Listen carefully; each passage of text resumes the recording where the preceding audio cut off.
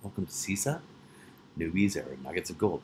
My name is Tom Johnson, and what we're going to do today, we're going to look at getting you logged in, uh, getting students logged in, then we're going to look at what's new, what's important, and if some of you want to leave, you can, and uh, then we're going to really peruse, and then we're going to play around. So first of all, getting logged in, you should be able to go into your uh, Gmail account or your Outlook account, and there should be a, a, an email that looks uh, like this, where you've been invited and you can join the school. If you don't have that, then you can uh, tell me now or email me, and I can make sure that you get this invite.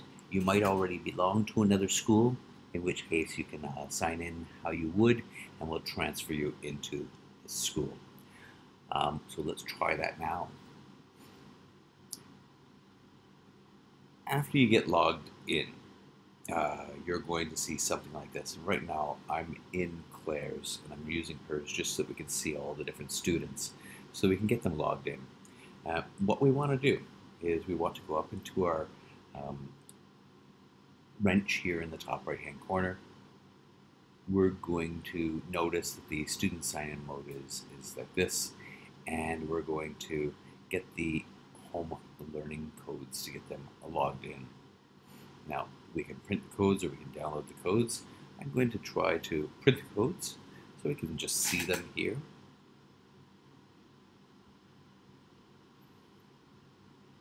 And this will auto-generate a code for each student.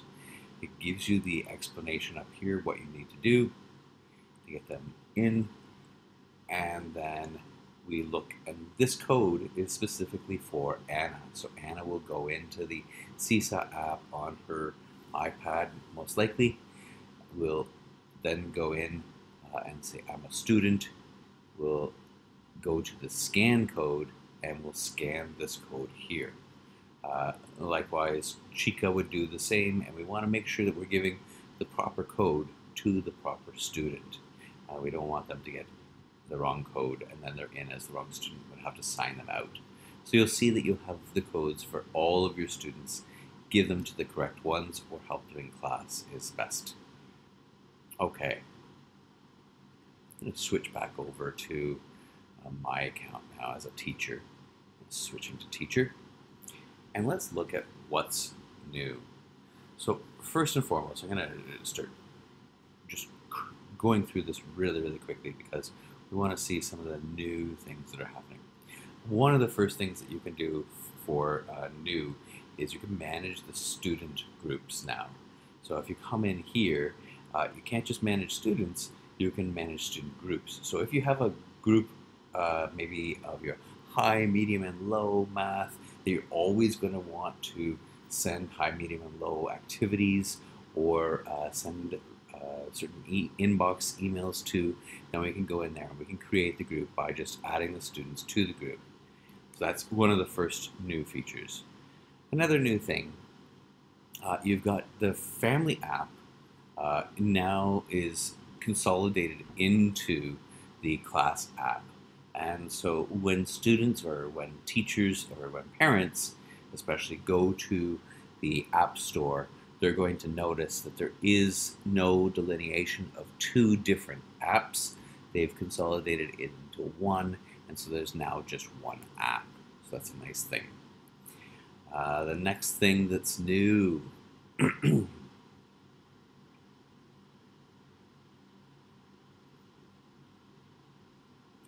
next thing that's new is messages messages. Come on in here.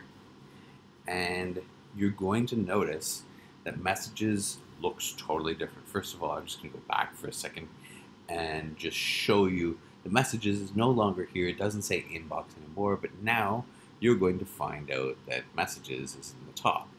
And what they've done is they've allowed us to uh, email directly to students, email directly to parents, and you can see if there are parents of students, and I'll show you what I mean by that. So if I go in here and I'm going to create a new conversation, and I'm going to start typing the name, and when I start typing names, if I scroll down, you can see that Mia Wang is a parent, and these are her students.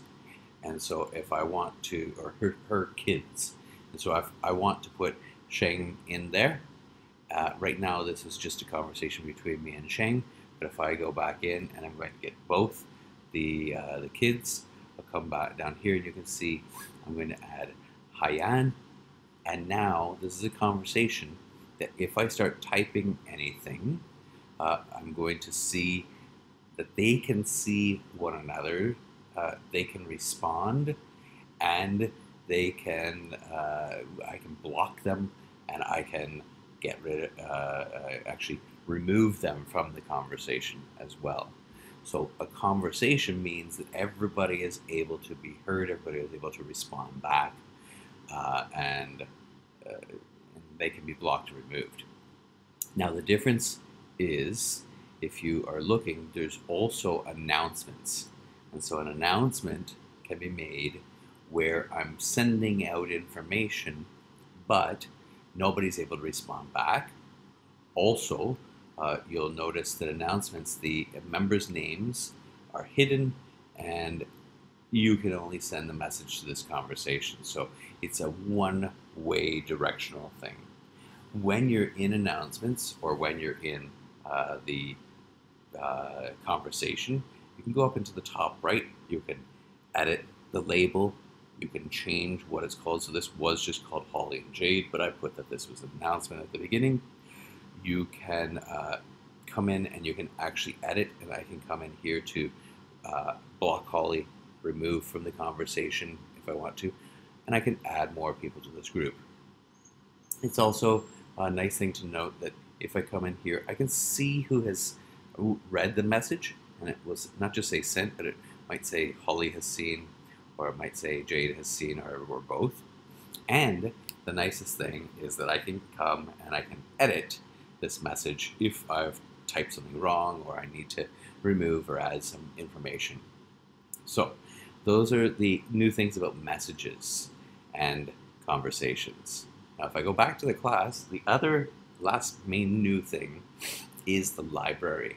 And the library is the activities, except what Seesaw has been uh, working on really aggressively is creating lessons for you to be able to send out that are really, really thorough and deep and have everything in there.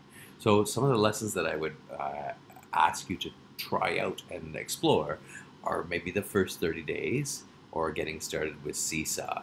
And so I like the, I, have gone in here, you might say, oh, I'm in third grade, I want to see what lessons there are. So I might come into the uh, getting started with Seesaw. They've got the pre-built lessons in here.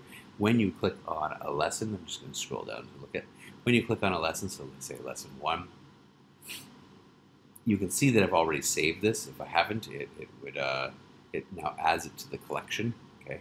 If I haven't, it's not pink. I can come in here to present to the class and I want to assign to the class. So when I've done all these, I'm just going to uh, pre-built lessons, I save, I present to the class. Present to the class uh, will take up the full screen. See this shows what's in here and you can see everything. So you're going to draw something you're good at. You're going to take a photo of yourself. You're going to tell what you're excited about this year and you see that it's only one slide. I could add more to this lesson. Now, when I'm going to actually assign this to the students, because they won't see this yet, when I'm going to assign this, I can click on this, and I can choose who's going to get the lesson, which folder it should go in, what skills are there, or I can come down here and I can schedule this and say it's not coming out until this day at this time. And so that's another way, or I can have it come out immediately. The other details of this are put together by Seesaw. They're telling you the objectives. They're telling you the I will statement, which ISTE standard it is, resources, and you've got certain downloads that you're able to take. Now the download looks like this. It's a getting started guide, and I'm going to add this into our uh, Google Classroom. So you have that, but you also have access to it right here in the lessons. Okay, so assign and details of the class lesson, download the handouts. You've got other things that are up here, but these are old. So now if you want to go, so this is, a, we've looked at announcements, conversation, scene, editing, editing labels, and adding to the group. We've looked at uh, new families uh, app, and we've looked at uh, managing student groups. Okay, so we've done logging in, getting students logged in. What's new? What's important? So, some of the things that are important that I'd like to just point out. Uh, important is to note that, and I'm just going to put this in here, uh, IMPT. It did. And if you're not wanting to get so many emails, one thing that's important is coming up in here, going into your account settings, coming down here, and turning off all of your email notifications, your push notifications, and your tips and tricks. This way, you're not going to get a whole bunch of emails that you really don't want to see. That's one important thing.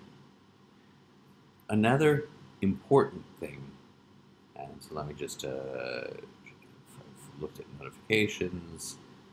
Important. Another important thing is that we uh, ah, okay here we are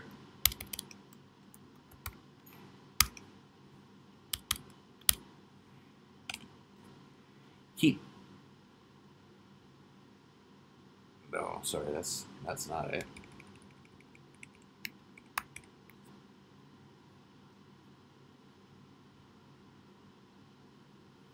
okay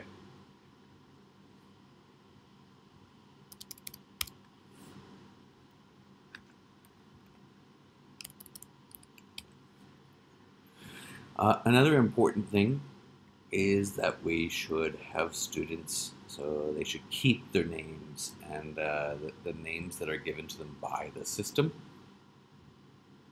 Um, but, okay.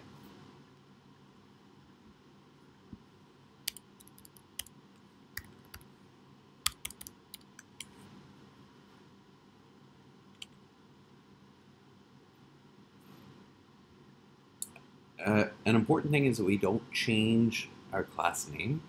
Okay, so your name probably starts with, uh, let's look over here, and come back into the, uh, switch to admin, and we can see that the classes have a naming uh, system.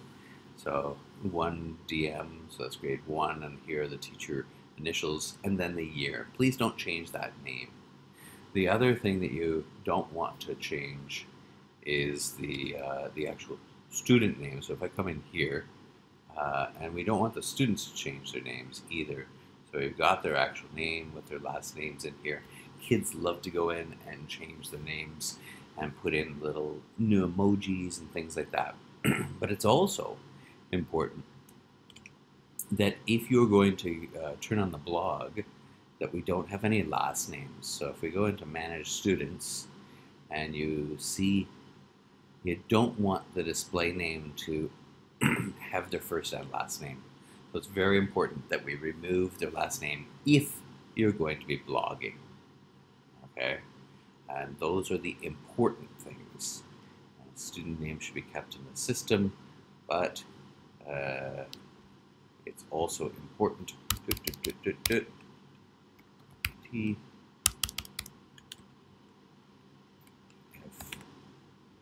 logging remove last names. Okay, because it's a COPPA uh, and a FERPA law that we don't, any kids that are under 13 years old, if they're blogging they're putting things out, can't have their uh, last name in there just as a uh, safety precaution. Okay. So we've looked at important. We've looked at this important. Okay. Now, what's important? And we're going to peruse. I'm going to take you through everything that uh, if, if you want to leave, now is the time because you've seen the important things for now. I'm going to jump back over to my class, uh, my switch teacher. So you might have different classes. And if you have different classes, to choose different classes, you come into the top left-hand corner and you can choose the class that you've got. Here you might have a couple different classes. That's how you can switch between classes. If you've got a parent account as well and you want to switch, you come up to the cog and you can switch. It would say switch to parent. Or if you're in the parent account, switch to teacher. Okay. I did show you the account settings, but we'll have a look back in here. And you can change your name, your display name, you can add your picture, you can uh, make sure you see which email you, address you've got in there, add your phone number if you want, change your password. Uh, you can see the school directory of all the other teachers that are in here. Uh, you won't be able to manage the subscription, I don't think. and as I said, turn on or turn off those email notifications. Uh, you can, if you've been here a couple of years and you've uh, got archive classes, you can go in and manage by turning them on or turning them off. Sometimes you might want to turn them on again to see uh, what previous posts were that you want to kind of glean and uh, put them back or, or rework them. If you're a parent, in here you would also have uh, download journals, and that's for taking all your sons or your daughters' journals with you, and it, it will allow you to, uh, it brings everything as a nice folder with everything in there by class, by date, and it brings the videos, it brings the photos, it brings everything that was uploaded to Seesaw and puts it in one nice package. Now, a note about downloading, you want to make sure that you tell the parents that if they're doing that and they're leaving the school or moving from grade 3 to grade 4, that they have a lot of room on their computer because this might take a lot of room if their student or their son or daughter has been at the school since uh, EY1 and is now uh, in grade 3. They might have a lot of stuff in there. Um, you can see down here that you've got uh, a community status possibly. You might have a pioneer, you might have uh, become an ambassador, you might have become a certified educator. If you're doing that, then maybe you're helping me out right now. Just a little notes about that. You can come in and you can see our professional learning committee. I'm, I'm going to put this learning community, I'm going to put this link in as well. It's in our class, uh, Google Classroom. You can see more about it. You can join and become part of the Seesaw community. okay. So this just gives more details about pioneers and ambassadors. Jumping away from there, coming over to our top right, we've got tools, and the tools is under this little tool here, the wrench. We're going to have a look. And as I said, important, please keep the class name the same uh, because we can use that to retrieve it later on when they're archived and uh, we come in and check throughout the years as a, a, an admin. You can come in, you can add different uh, teachers to your class. So maybe you want your TAs in there. You can come in, you can put in their email address and invite the teacher if they're not there already. You can change the class theme by the color. You can change the icon and put a new one in, upload your own image, make it all snazzy. Coming down to students, uh, you don't really need to change the code. Um, it's already set by default to the class code one-to-one -one devices. You, for the older kids beyond grade three, they might be signed in through email or Google, but I think this is all just we're going to leave the class code at one-to-one -one devices. Or it, I don't think you're going to have shared devices. you can come in here and you can manage students, and this is where you can um, add another student that might not be in your class already, and you can type in their name. Um, let's start to see. Okay, it might uh, be auto-populating, or you can uh, just type it all in. Let's. If I click Add Student, you have to put in their name first. Okay, to add them in. If you're having problems with adding students, please just email me or call me down and I'll, I'll help you add students. As I showed you, you can um, now group and the home learning codes are how you can get the kids into your class. I would uh, also note that you can see the student numbers in here if you need that uh, for some reason, for some other uh, LMS or something like that. So if you're managing the students, you'll see the sample student and you'd see their student number under here. You might also see their email address if they put that in.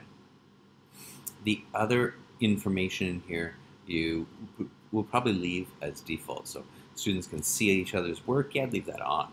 Uh, they can write on one another. They can uh, new items require approval. That means that they're not putting something in there that's uh, inappropriate without you vetting it and saying no. uh, they students can edit, uh, edit their own items and allow students to tag posts. Sure, you can you can allow that. Enable sample student. I always like that on because then you can show what's going on without affecting somebody else's work. And and finally, you can turn on the enable student likes.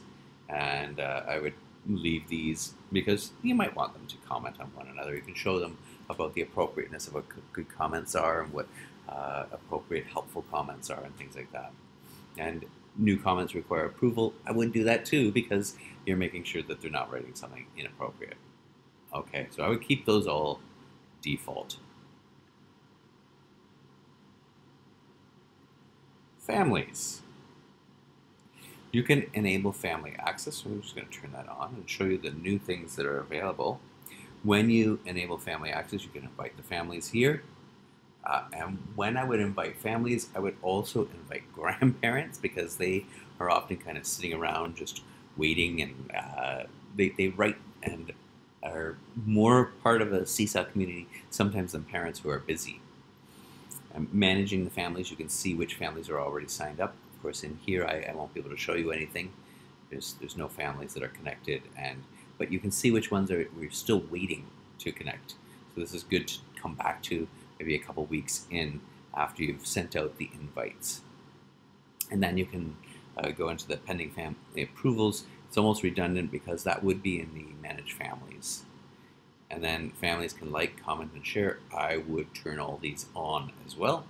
Enable family comments. And they require approval because it's amazing sometimes families also write things that might be inappropriate. So it's nice to require the approval and be able to vet those. Uh, coming in to print those. Yeah. Oopsie. Come back. So if you're inviting families, I don't have any students yet, but it would give you the codes like you saw and show them how you can send those home with the students or you can invite them by email or by phone. Okay. Uh, just a little note about families. We're going to be having these sessions uh, this this year. So September 26th for the EY1 and so on and so forth. I'm not going to read through those for you. Um, coming back in, you can also enable blogs. And it was important, I'm going to say it again because it's really important that uh, the last names need to be removed on your student list if you're going to be enabling blogs. So I'm just going to enable the blogs so you can see and set up a public blog, come up with the name. Once the name is set, that's the name for life. So that blog is your blog that you would have uh, from now until whenever. And you can click on learn more to find out. It will give you more about the blog, setting them all up. How do you set it up? Enable, disable your blog. Okay, that's got a nice little video there. Once you've enabled the blogs, you can also go in and you can go to connected blogs.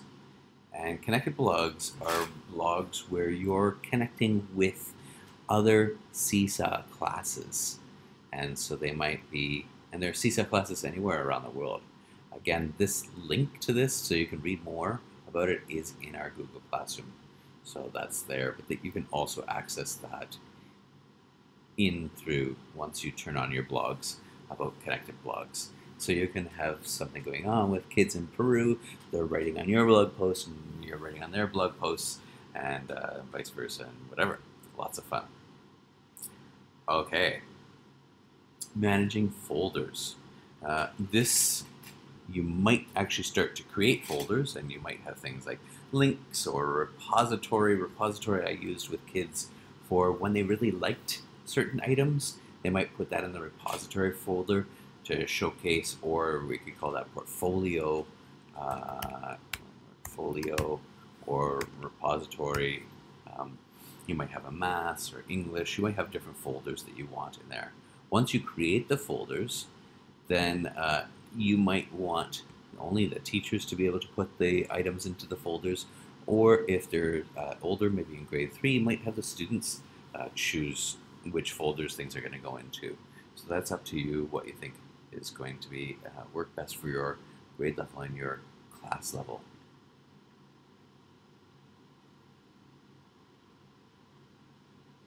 In progress, um, you can, I would keep these defaults and I'll show you a little bit more about progress at the end, but you might keep the four star rating, keep these colors and enable the rating scale. So I would leave all those defaults. The progress is part of the skills and we'll, we'll have a look at that later.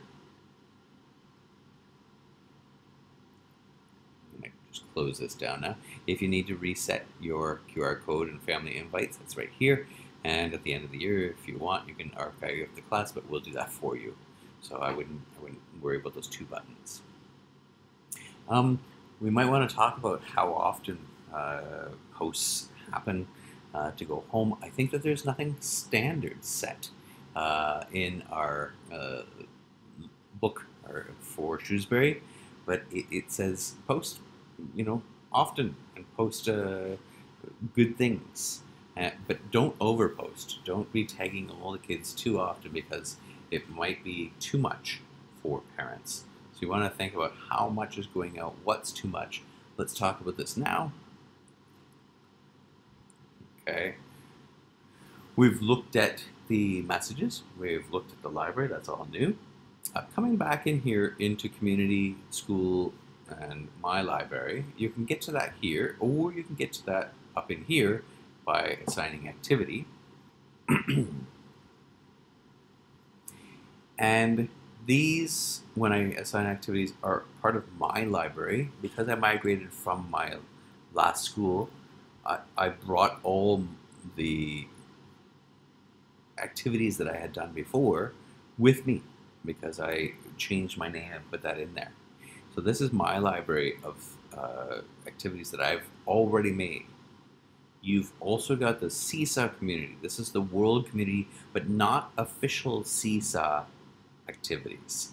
These are made by other teachers and educators around the world, and you can uh, look everything up. There's all different grades, all different subjects, and things that are in here, all different grades, but they aren't as uh, as well made necessarily as the Seesaw lessons because they're paying people to make these lessons. Whereas community is the Seesaw community, which is just freely made.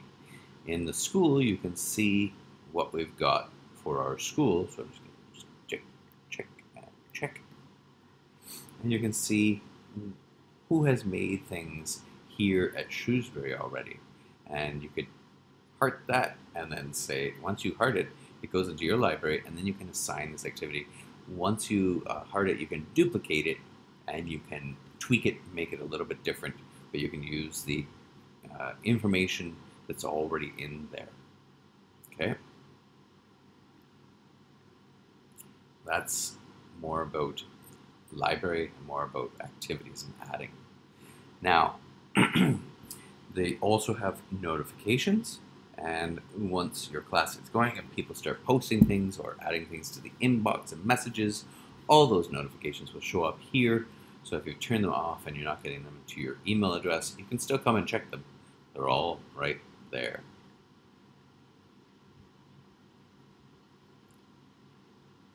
Pinning posts. If I come back over to my journal, right now this is uh, the default post that's in here. You could add something. I'm going to uh, post student work. I'm going to put this in and uh, welcome to the teacher seesaw. When I'm doing this, maybe I put certain information about my class, maybe the schedule, maybe our calendar, who knows what's in there. I can also add pages. I'm going to get a little bit more into that after. But once I create this and I post this to the sample student, you can choose to put that to all students. so this is now a post. If I want this to stay at the top, I can come in here and I can pin to top. And that allows me to keep it at the top. The students will always see it. I can change certain information. And it's usually a thing that I like to do, usually a thing that's done. So uh, pinning posts is important.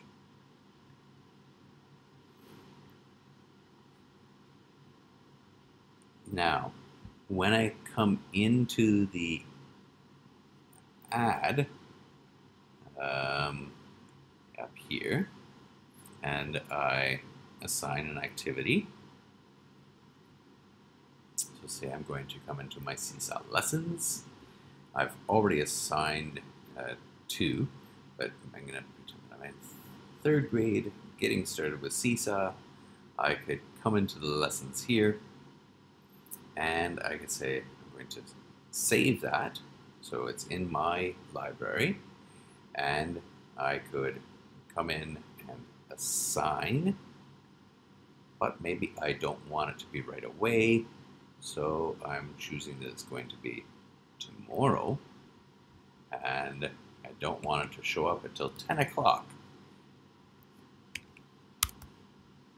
10 o'clock. And I'll press the check mark and if I have a certain group in there that I want to get this but not the others, then I'm going to edit the students in the folders, and then I'll press assign.